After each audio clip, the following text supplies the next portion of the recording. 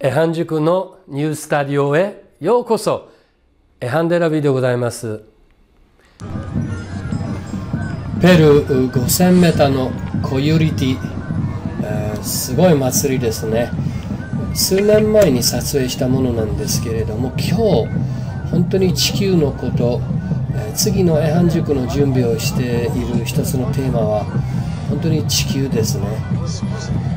我々と地球との関係性はどうなってるのでしょうか。この人たちは大感謝祭ですねこれは。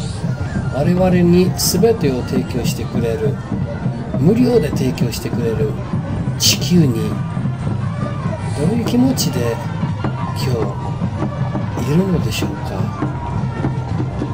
踊り続けますか？感謝を込めて。3日間やりますか？考えましょう。地球に感謝。